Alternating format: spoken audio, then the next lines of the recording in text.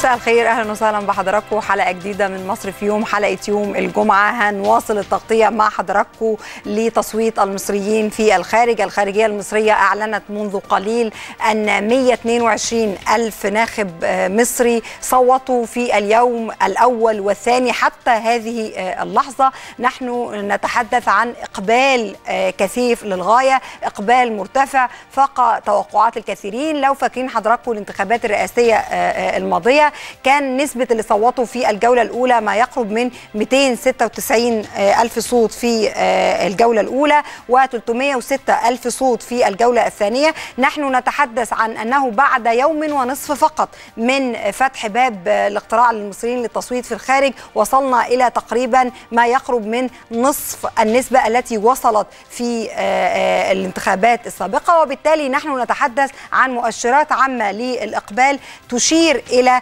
أن تصويت المصريين في الخارج سيكون مرتفعا للغاية وبالتالي أيضا نسبة التصويت في الخارج سيكون لها دلالة بالنسبة للنتائج العامة لكلا المرشحين اللي بدأوا النهارده حملة كل منهما تقول أنها الأعلى تصويتا في تصويت المصريين في الخارج لكن طبعا هذه المسألة لا تستند إلى أي أرقام أو نتائج حقيقية ومعلنة. على أي حال حسين الجسمي بدأ سباق الرئاسة بحث المصريين على التصويت في الخارج بطريقته الخاصة. حسين على مدى الفترة الماضية اقترب من المصريين وبشدة لدرجة الناس كثيرة جدا بدأت تديله الجنسية الفخرية إن صح التعبير لأنه كان دائما من خلال أغانيه يعبر عن المصريين بشكل واضح. زميلنا العزيز كريم عرفة منتج لنا الأغنية بصور للمصريين وللاقتراع وأيضا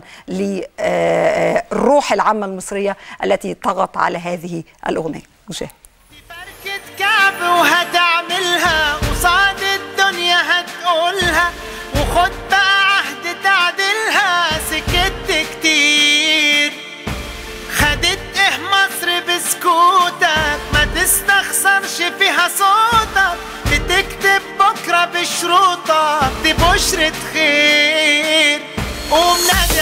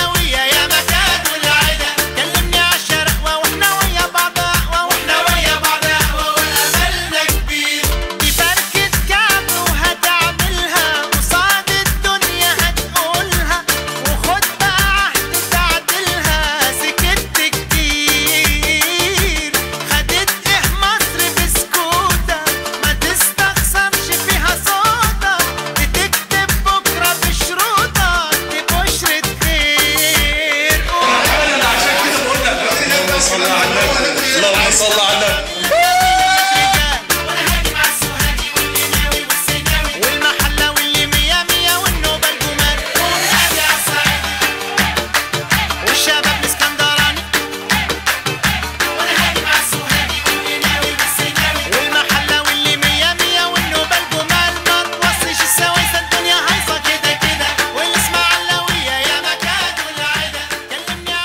فيها طاقة وفيها فرحة وفيها حث حقيقي على المشاركة. ما تستخسرش في مصر صوتك. الرسالة واضحة جدا في هذه الأغنية. الحقيقة مش المهم إن إحنا ندي صوتنا لمين مش هي دي القضية. القضية زي ما قلت لحضراتكم امبارح المشاركة. المشاركة هي الطريق الأول لينا عشان نقدر نقول للعالم كله أننا نشارك في صنع هذا المستقبل وأننا نختار بغض النظر عن أي من المرشحين المهم أن تكون هناك نسبة مرتفعة للمشاركة. وخلينا أقول لكم كانوا زمان يعلمونا في الكتب الديمقراطية مش إن إحنا نعمل انتخابات ولا إن إحنا نعمل تداول للسلطة الديمقراطية إن المواطنين يشاركوا في صنع مستقبلهم. أعتقد بالفعل بشرة خير نسبة أو معدلات إقبال المصريين في الخارج على التصويت. كل سفرائنا من خلال التواصل اللي كان موجود امبارح كان عندنا تغطية خاصة في مصر في يوم. قالوا لنا إن نسب المشاركة لم تكن متوقعة. هناك إقبال مكثف على مقرات السفارات. كانت الناس واقفة قدام السفارات قبل أن تفتح أبوابها. كان هناك طوابير امتدت لعده مترات. كانت هناك